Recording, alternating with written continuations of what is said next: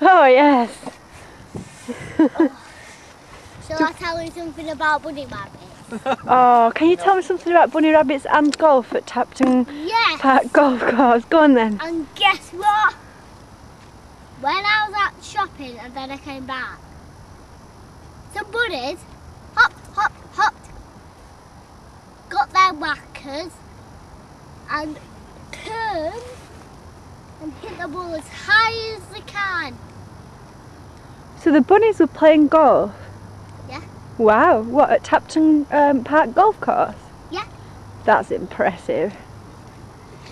And then they jumped up and land, landed where their ball was.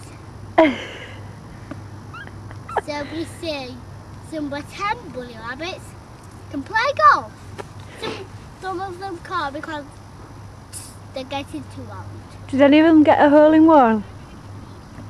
Yes, some do, some don't. are so impressive. They can easily get me into a little bit of a muddle to call their names out. So, shall I show you something about Woody? No, d- listen, we're going to a restaurant tonight, remember?